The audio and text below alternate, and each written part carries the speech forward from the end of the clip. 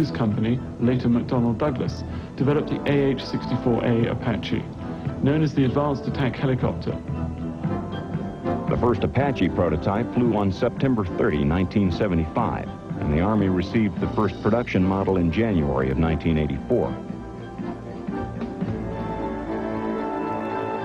Initially, the AH-64s were powered by two widely separated General Electric T700 engines capable of generating 1,536 horsepower each.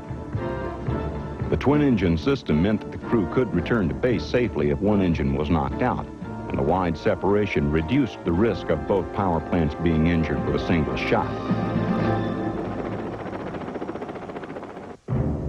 The Apache was armed with a chin-mounted 30-millimeter cannon carrying 1,200 rounds of ammunition.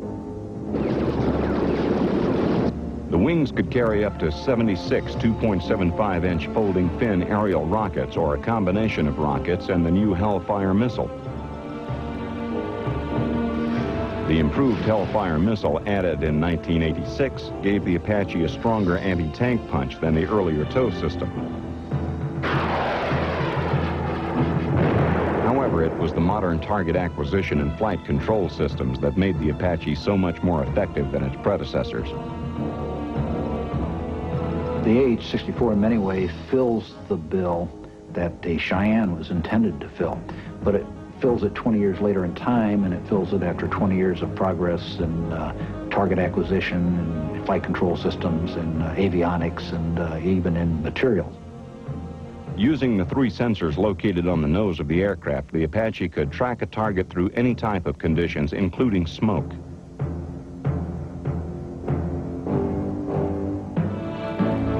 The Target Acquisition and Designation Sight, or TADS, combined an infrared sensor with telescopic and daylight TV sights displaying either normal or wide fields of view, as well as night vision. The sophisticated flight control system meant that the Apache could fly nap of the Earth at night over any type of terrain, even in the Grand Canyon. The AH-64 was designed with a number of countermeasures in order to avoid enemy fire.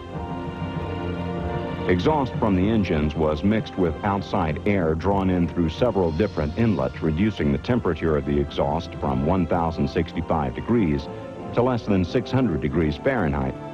At this temperature, the helicopter's infrared signature could not be detected by heat-seeking missiles. Electronic radar jamming equipment prevented anti-aircraft systems from locking on target. Chaff and flare dispensers could also be used when under direct attack. In addition, all of the Apache's components were built to withstand direct enemy fire. It's well armored and uh, it was designed to withstand hits.